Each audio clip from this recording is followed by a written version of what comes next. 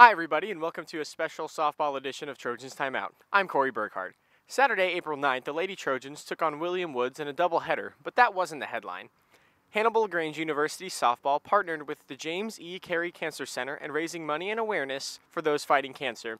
The Lady Trojans sold pink t shirts prior to the game, and a group of PR students put on a silent auction. Those combined efforts raised nearly $2,000. HLGU student Macy Llewellyn threw out the first pitch of the game.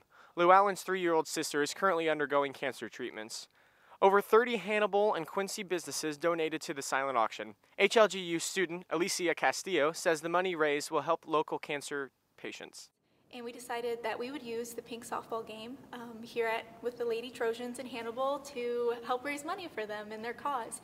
Uh, so we did that and we tackled it, and uh, we had a really great turnout with a silent auction, and it was a really good game. The Lady Trojans softball team is just one of many teams at HLG that raise money for the fight against cancer. The Lady Trojans split the two game set with William Woods. Now we're going to send it over to Nick Vandiver for a couple of play by play moments against William Woods. Duckworth stepping in, trying to get on base here.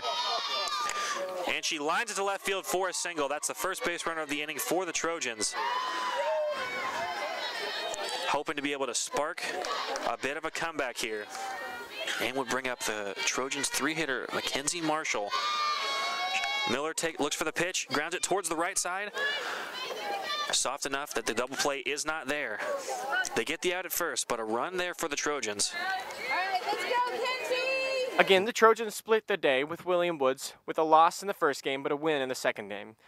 Your Lady Trojans will be at home on April 20th against Culver Stockton. That is senior day for the team. Be sure to come out and support the ladies. The first game of the doubleheader starts at 2 o'clock.